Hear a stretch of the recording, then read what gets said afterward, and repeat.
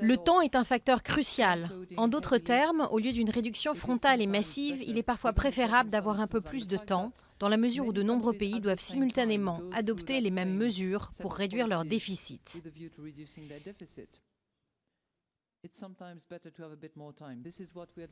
C'est ce que nous avons défendu pour le Portugal, c'est ce que nous avons défendu pour l'Espagne et c'est ce que nous défendons pour la Grèce. Je l'ai dit à plusieurs reprises, un délai supplémentaire de deux ans est nécessaire pour faire face au programme d'assainissement de ces finances publiques.